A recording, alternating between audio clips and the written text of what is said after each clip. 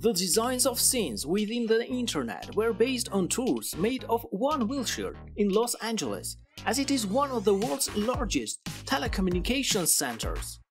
Calhoun is the only female character in Hero's Duty. Mulan has the highest kill count of any character.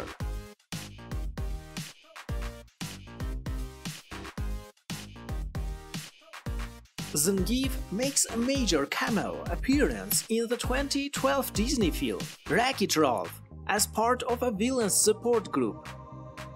Vanellope is a true Disney princess, the one who rules the Sugar Rush game. Anna is so far the only Disney princess to share a duet with the villain.